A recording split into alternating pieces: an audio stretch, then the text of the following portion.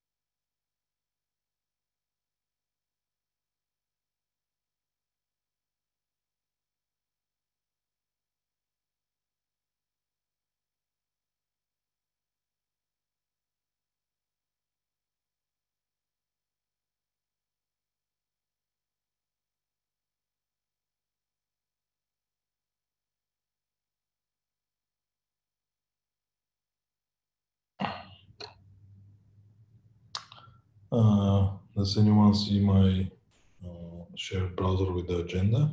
Um, yep. Okay. Yeah, we're able to see it. Thanks. I have also posted the link to the agenda in the, the meeting minutes uh, in the chat here. So please everyone add your names here and I'll be starting in a minute or two.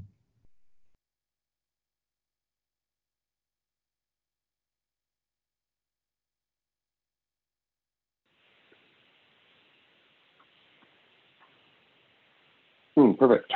So today, I don't think we're going to have Ed in today. So I'll have to uh, make do without him.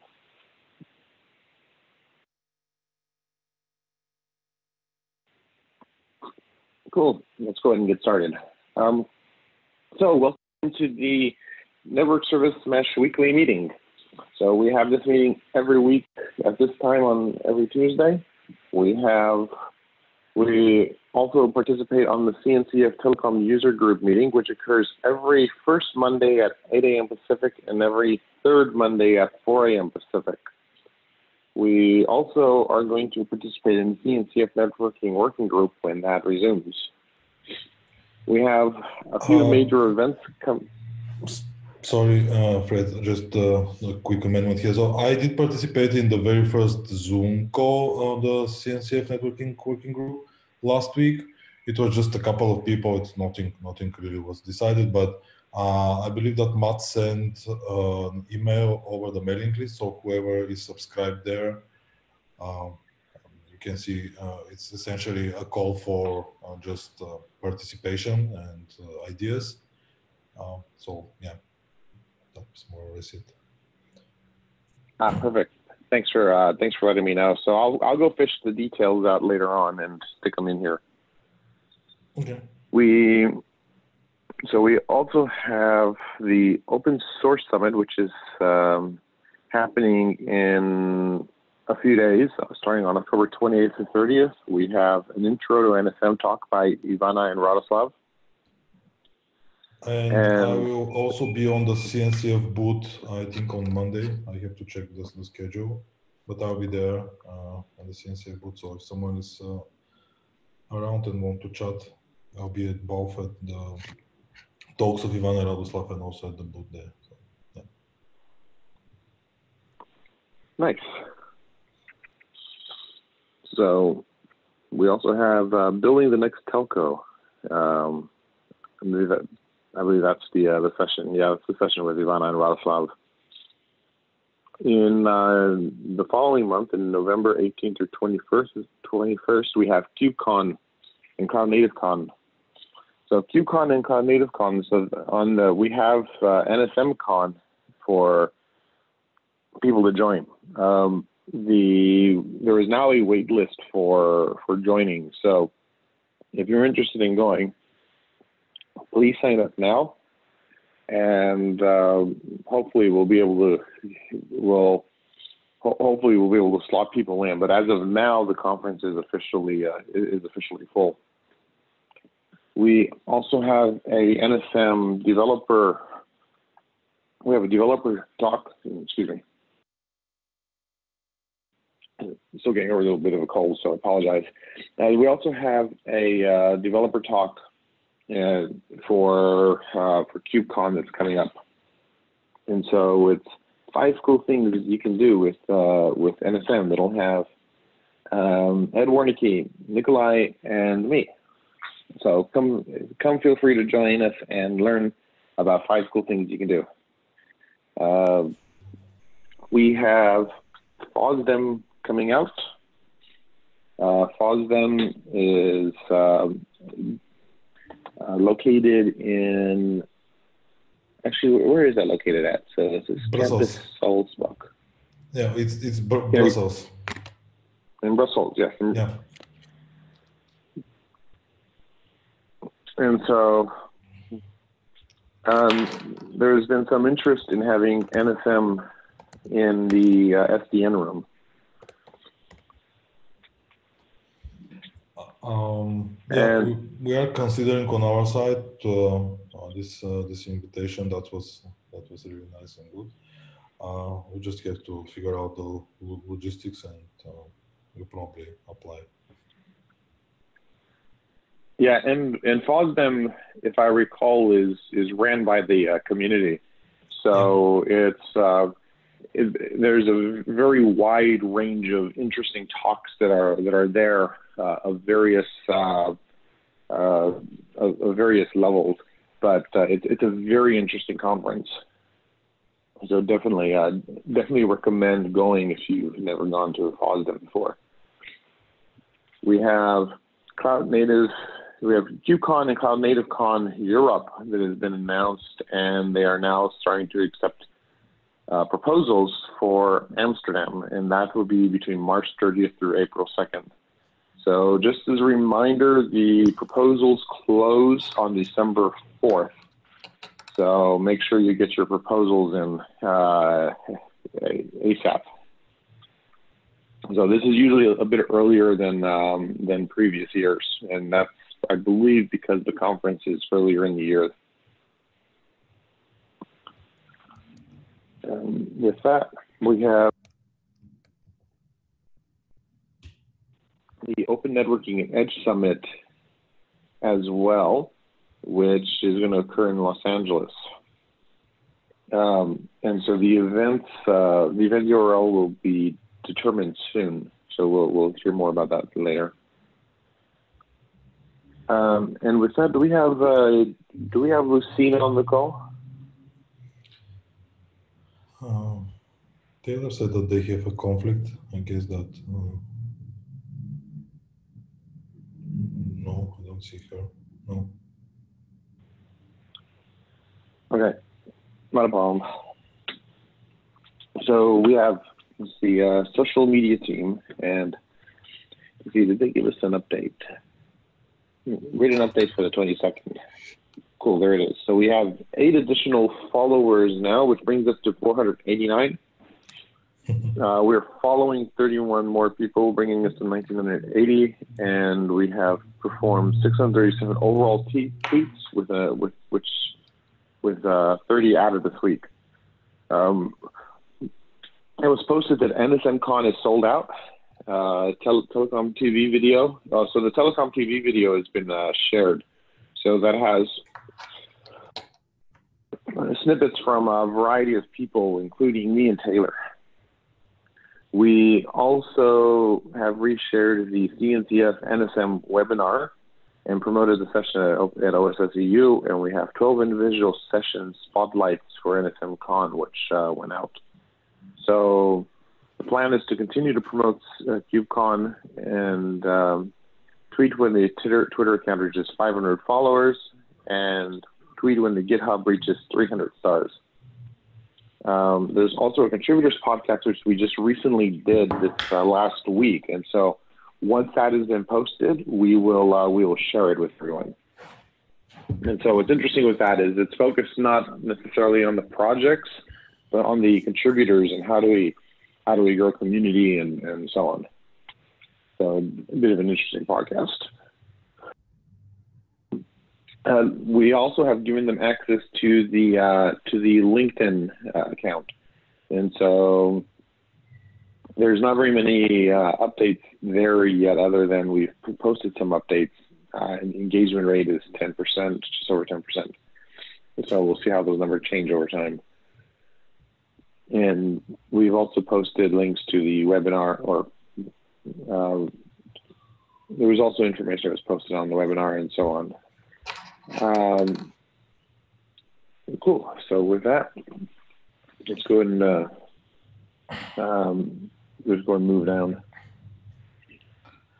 Actually, so right now we don't have anything listed on the uh, listed on the agenda. So, is there anything that anyone wants to that anyone wants to discuss?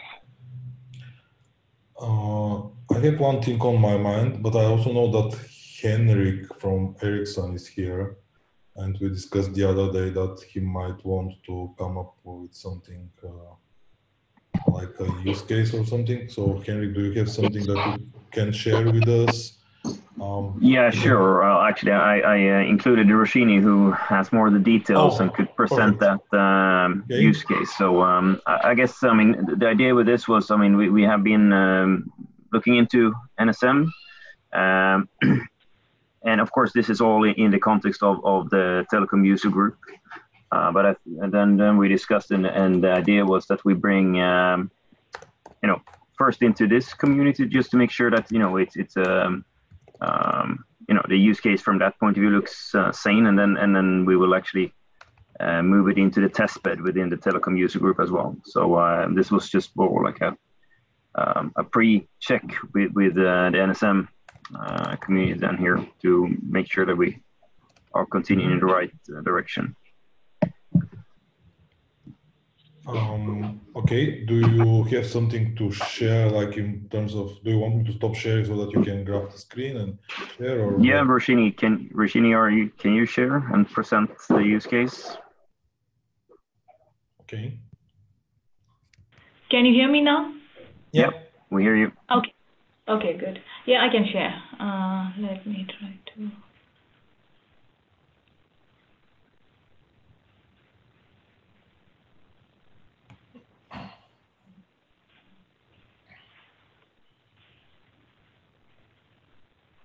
Uh, can you see my screen now?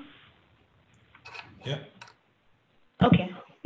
So, yeah, I mean, we were working on uh, some high-level uh, use case, uh, which uh, basically covers the end-to-end -end, connectivity. so this is the scope. so basically, we want to show end-to-end -end external connectivity and VPN separation by dedicating specific interface to the application pod. Uh, so, um, uh, so this uh, red reddish um, figure um, is the application pod, and we are not showing any uh, Kubernetes default networking here. Uh, uh, instead, we are mainly focusing only on the NSM in this picture.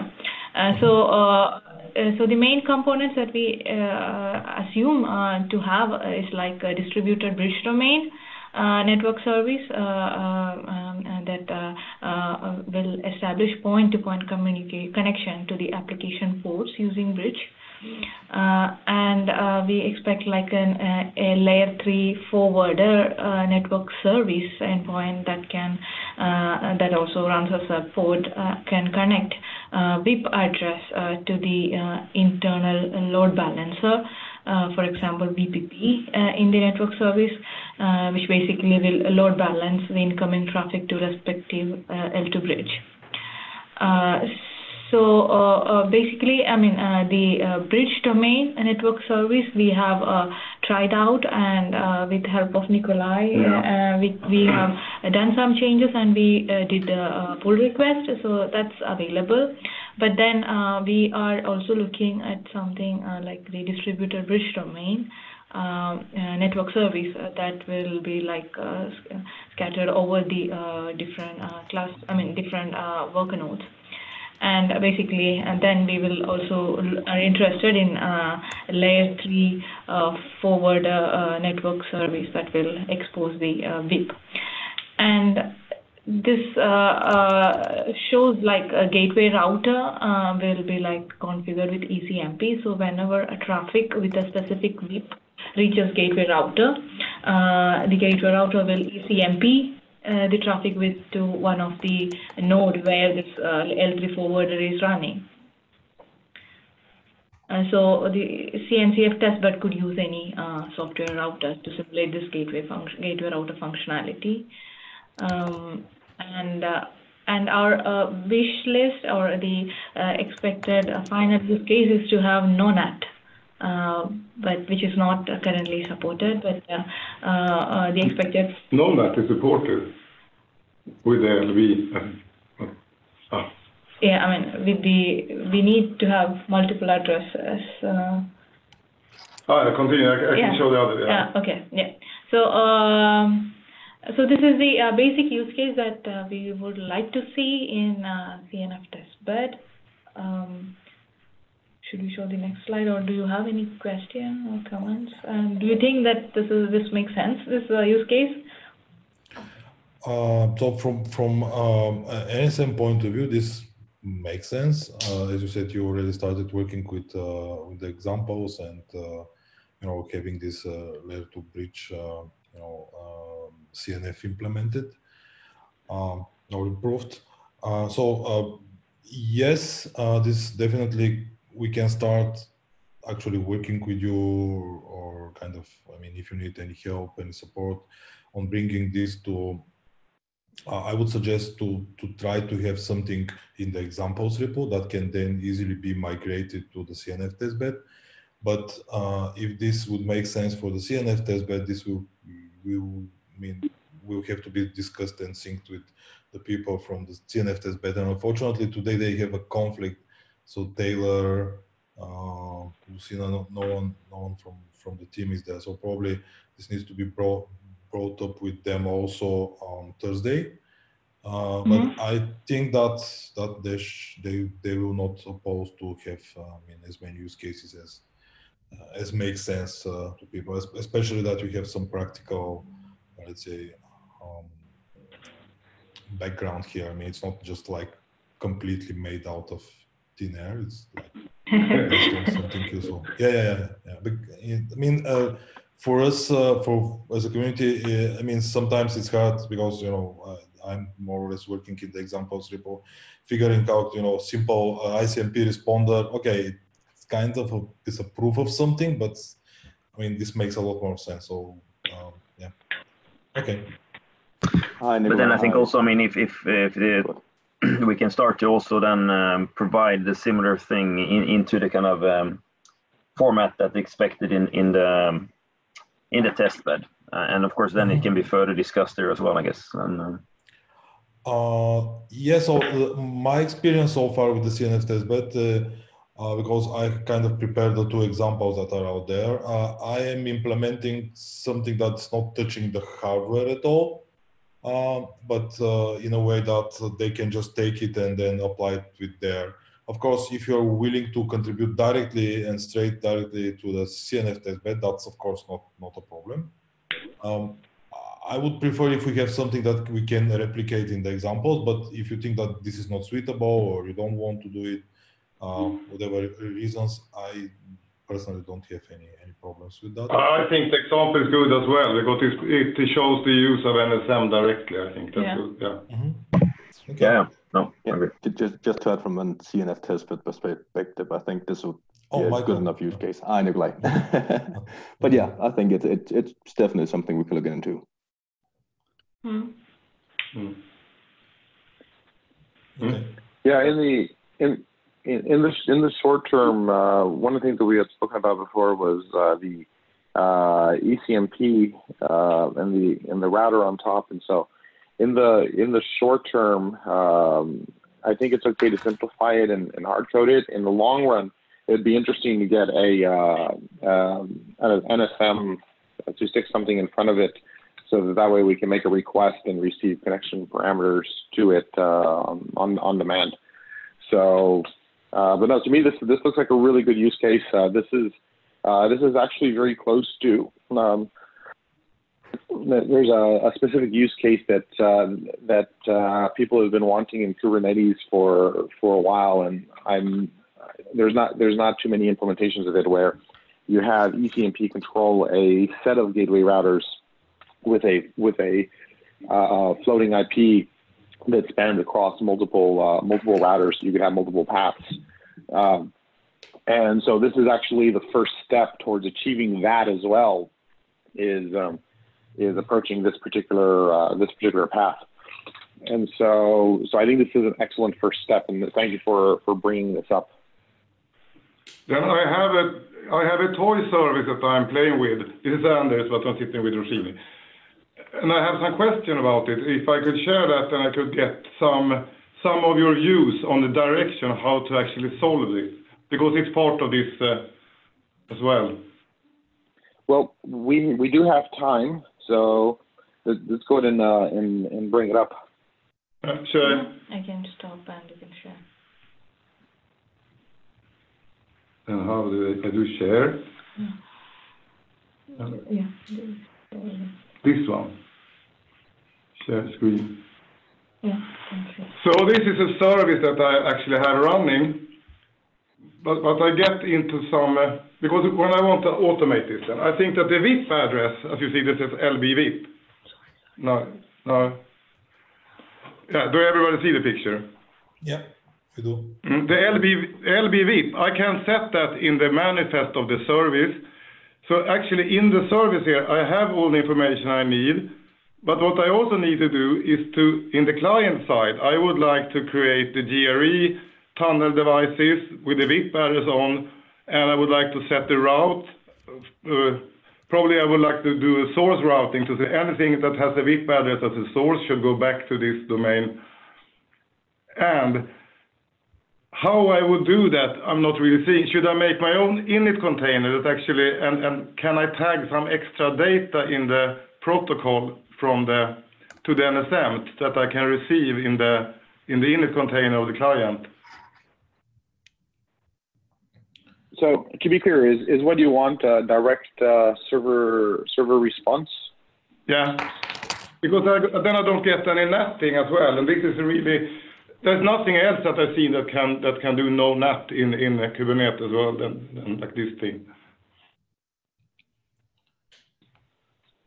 Yeah, so direct server response is a little bit more of an interesting uh, use case. So uh, within NSM, there should not be any problems with uh, with performing a uh, direct server response itself because uh, what you want is you want your payload uh, in this scenario, instead of IP, you want you'll want to have something that terminates something that allows you to have the the tags that you that way you can know where the uh, where the where the response is, or um, another option might be to have the source the source destination preserved.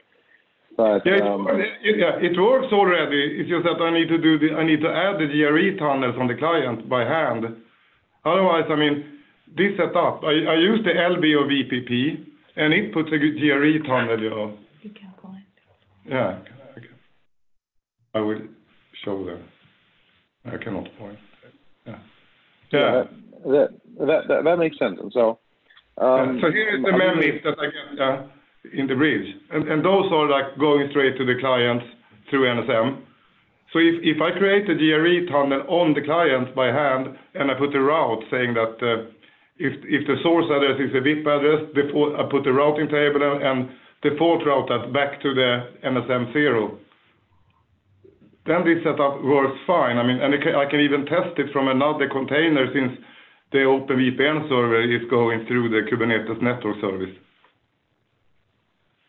Yeah, this makes sense. So yeah, I think what um, so we we can put arbitrary um, um, I guess you would mm-hmm. say um, it's it's it's part of the change. There's a couple ways we can do this, but one one potential way is uh, we could we could build a uh, a small network service that sits in front of the uh, that sits in front of the application that mm-hmm. knows how to read off those particular uh, labels and, and tags and then knows and then knows how to mangle the packet properly or packet to treat it mm-hmm. properly so that when it returns uh, it's it builds the packet in the way that you expect, and then forwards it off to the um, to to the correct uh, uh, to the correct destination from there. So it's um, it, it's very, it's actually very similar to what OpenShift did. So o- OpenShift has um, a uh, um, HA proxy that sits in front of each uh, in front of each uh, uh pod, um, and so when they would receive traffic, they were able to to treat it there. So it's a similar it's a similar path. Mm-hmm. But yeah, no, this is this is definitely this is definitely possible, and I think we I I think we'll have to build a uh, one option is we may have to build a network service that can perform, that can perform the the uh, packet treatment on the on the header in order mm-hmm. to in order to mangle it properly. But I this this should be a very easy uh, this should be a very easy path. But, but when you say adding adding extra information in, in this connect request that comes to the bridge domain, you know where you have the IP context and all this kind of stuff. Is it can I add data to that buffer to the gRPC buffer that I get that get transferred back to the to the client? in yeah, the, in that's the... that that's possible as well. So when you do the initial connection, yeah. uh, you you could pass the uh, the label information right there. Then you don't have to worry about uh, additional labels or, or encapsulations or anything like that, uh, and then just mangle it on the way out. Yeah, yeah that's that's a yeah, we, we, that's that's definitely a, that's definitely a, a, a way to do it as well. But I'm looking at this, there is a context, something dot uh, proto or something like this in the in the source code. Is it just to add to that one, or is there some way of getting in the extra data in the response? Yeah, we we can add it uh, We can add into that context. And so when you when you do the initial connection, uh, uh-huh. and you build it and you create the interface, part of the uh, rec- part of the request and response is you can add uh, arbitrary labels. Uh, okay. And so in this scenario, our, our one of our plans in the long run is we want to try to standardize uh, some of the labels, mm-hmm. so that that way we're not um, we don't end up with a plethora or an explosion of of random labels, which makes people incompatible. But in the in the in the short term, don't worry about that. Uh, in the short term, like you know, feel free to create a label and stick it in there. Yeah. Cool, I will do that because I saw the labels, but I thought they, they were like in the other direction, that you got labels from the client, but I can add labels on the res- on the response as well then. Yeah, that's that's correct. You can add labels on the on the response. Yeah. And if if you have trouble with it or if it doesn't work for some reason, let us know and we'll we'll fix it. But uh, I, I will uh, try. labels so then I can make my own init container, and I will not use the web admission hook to, because then I can create interfaces in that one, the, the GRE ton.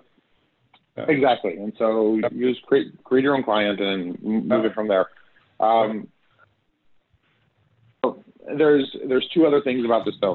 So one of them is if you're uh, if you're using a kernel interface as your client, mm-hmm. then the kernel interface uh, will likely may or may not have access to um, to change the um, uh, to change its own to, to change the source type. Yeah, yeah.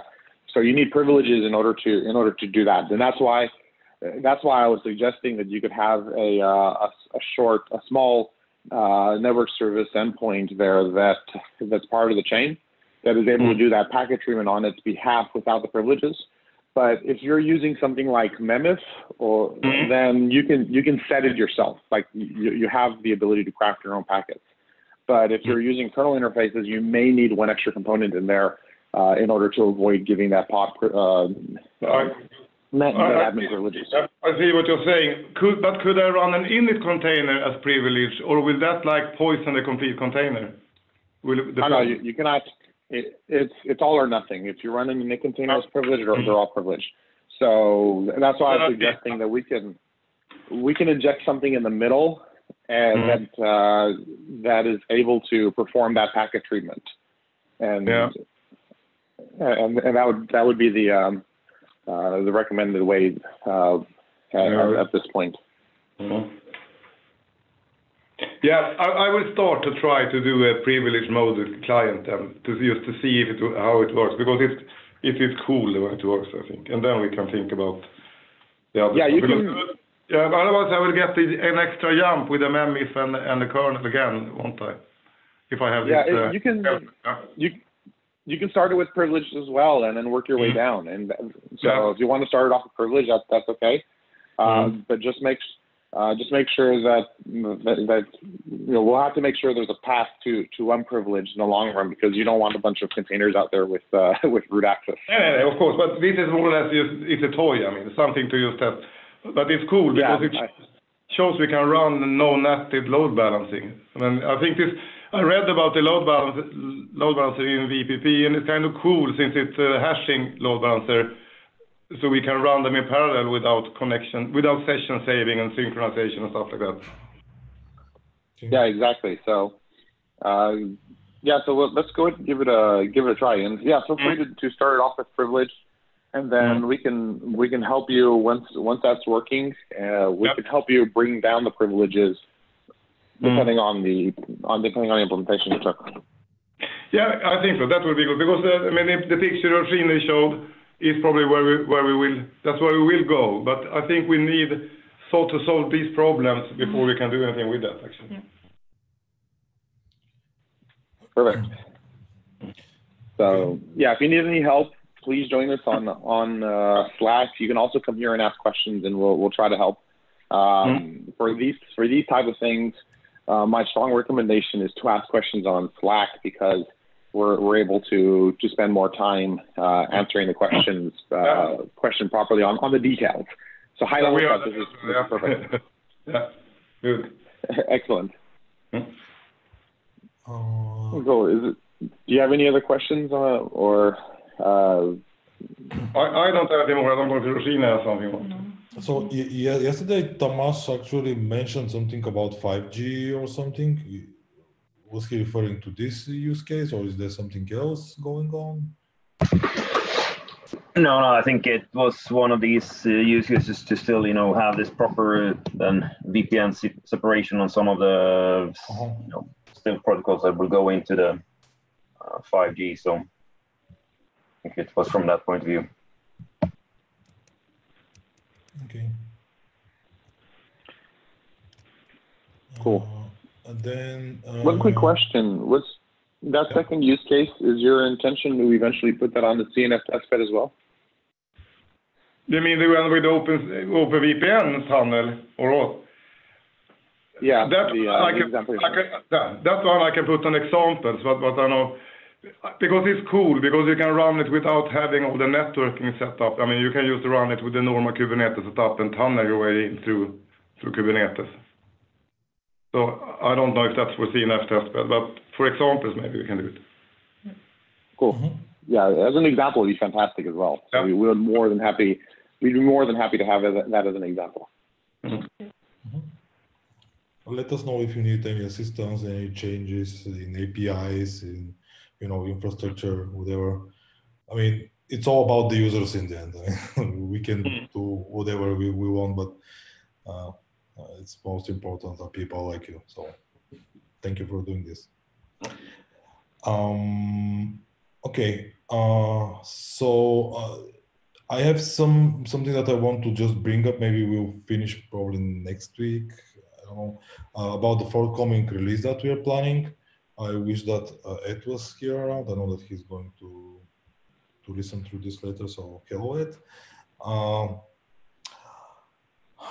so uh, if there's anything else that uh, some of the people want to bring up, I know that, I mean, it would have been good if we have added here, but if someone wants to, Jai here, maybe, I don't know, Matt, uh, anyone wants to bring something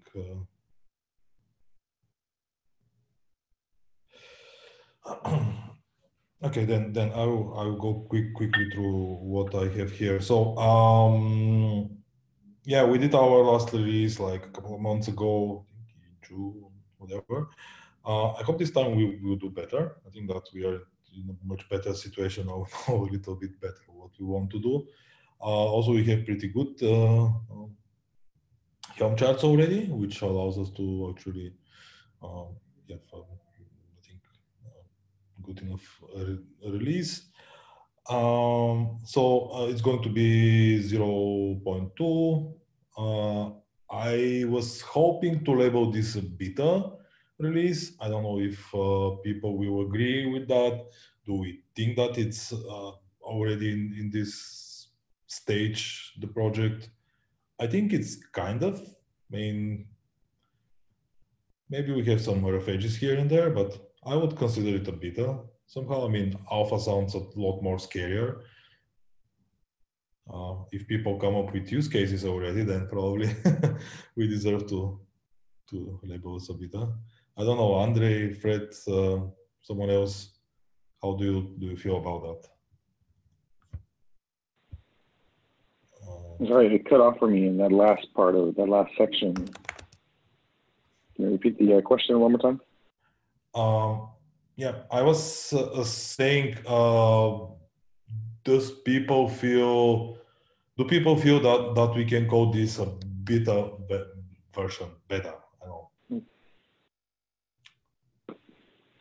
Yeah, I'm I'm happy with calling it a beta. I mean, we have a lot of really amazing uh, features that have been packed in that uh, they're not hardened yet, but uh, we're we're getting closer to hitting the um, the set of features that we want to deliver on the first on, on the first major version. So uh, we have um, things like um, SPIFFE and and uh, Spire. We have the open policy and stuff that's been going on. You know, and all, all necessary stuff in order to um, in order to properly, yeah, the interdomain stuff is is part of it. So we have a lot of really amazing, um, amazing things, and it's starting to, you know, we're we're starting to to get uh, it to settle on a on a set of features, uh, and we're talking about okay, how do we harden features much more than uh, than how do we add new features as we were even just a few months ago. So I think we're we're I think a beta is a is a good uh, name for it. Mm-hmm. Andre. Are you, are you around? Andre? Uh, okay, he's probably just uh, following. Uh, okay, then then we probably will have to figure out a name. Uh, last time it was a constellation called uh, uh, what was the name? A a Andromeda. An- Andromeda, yeah. Mm okay, maybe we have to figure out, not maybe, but we have to figure out a constellation with B. Maybe we'll just create a poll for this. We have to figure out a couple of names. That's not that important. It's just, yeah. There, there is a constellation called Borealis Corona. and what's interesting about it is the Borealis Corona is the crown of Ariadne. Oh, okay. Oh, So that that's my recommendation. Um, I'm happy with others too. It's, it's a bit of a, a mouthful. yeah, the crown. Yeah, sounds good. Um, then um, we have. I actually I have a specific uh, um, proposal for when do we want to branch freeze somehow that we can you know have a couple of weeks before KubeCon. So I was hoping that not the next Monday, but the Monday after that, like 4th of November. Um, that's a bit aggressive, maybe. Uh, but maybe if we can figure out in the following two weeks what we, or maybe fifth, uh, let's say fifth, because it's on the on the W on the work group call. Um, mm, yeah, we have two weeks, so if, we can figure out what are the the um, standing problems that we have to to stabilize and fix, maybe we can do it. Uh, of course, nothing is fixed. We just have to figure out what we want to do. Um, so, how does folks feel about this? Is it a bit aggressive?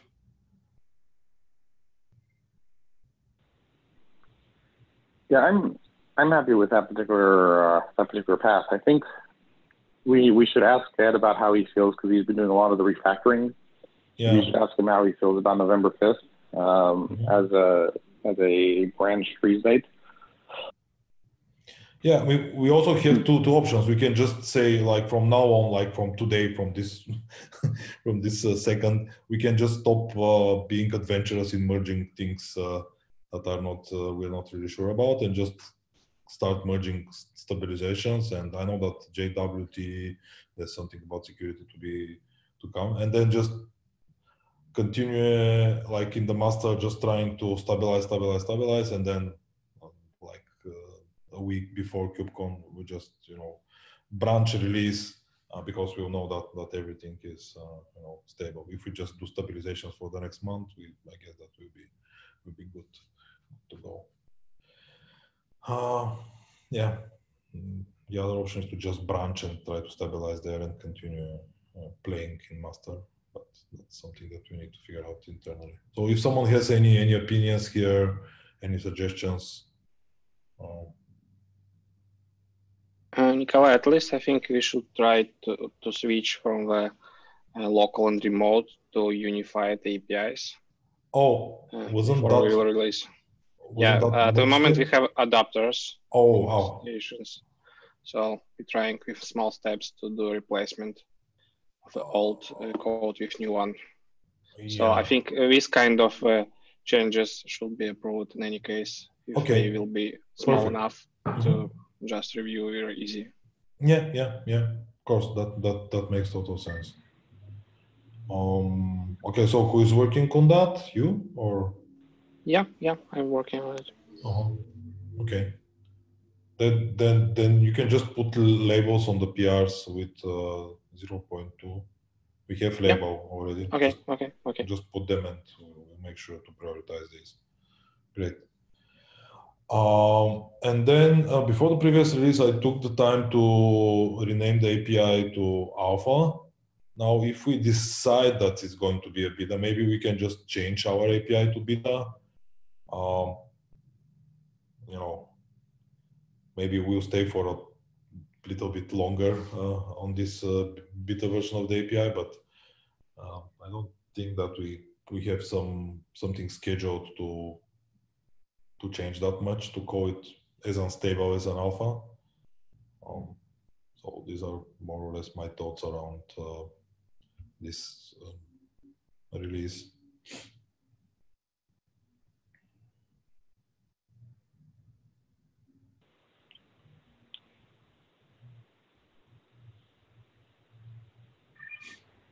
Cool. So I think um, I, I think that we probably need to have a conversation with Ed as well and ask him his um, his recommendation. My my recommendation at this point would be to make the assumption that uh, do we do we want to set November fifth as, as the date or uh, for for the branch and uh, once we rally around with Ed we can we can finalize it but just to give people some um, some some goals to to work with at the moment.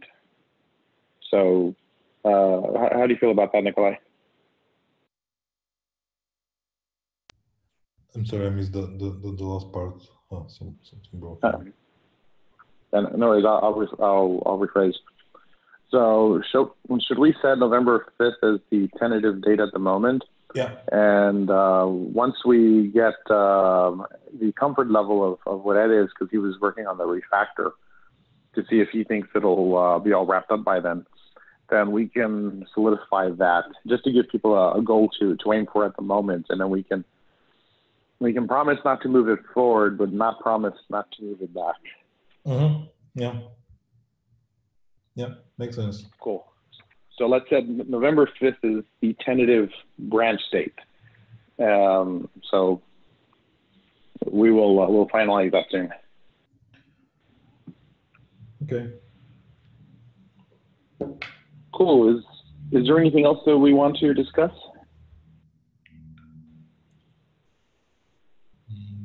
I don't know. Andre, on your side, something or No, no. Uh, on last week, I think we merged uh, the SDK to local and remote separation.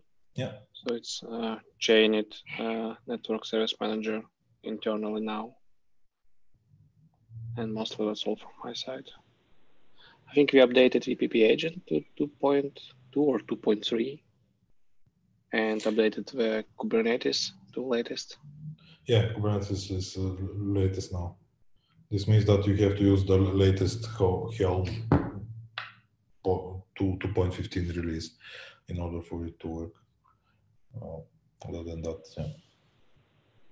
Ah, that's that's good to know. It um, just as a recommendation, if if we need a specific version of Helm, we should make sure that we encode that in somewhere. Uh, although it's a bit hard because we tell people to do Helm install, and we I don't think we have a way to enforce that.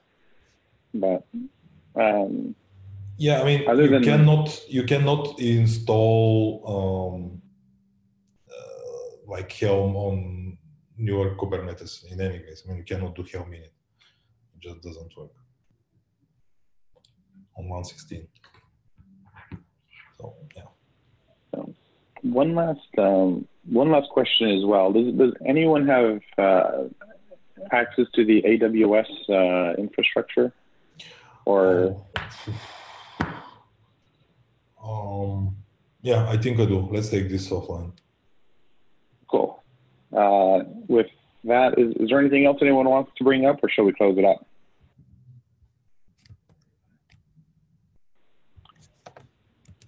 Okay, so we'll go and close it up. Uh, first, I wanted to thank the Ericsson people for um, for bringing their use cases and discussing it here. So that's that was really helpful. Thanks to you. Uh, yeah. Thank you. Yeah, and I and I circled back with Taylor and let him know that we covered it all. So he's uh, partially informed and excited. Uh, and Taylor is the person who is the lead for the CNF testbed. Um, and with that, uh, we will we will have the um, we, we will have next week's meeting at the same time, same place. And uh, thank you everyone for attending, and we'll see you all again next week. Have a good day. Thank you. Thank you. Bye. Bye. Bye.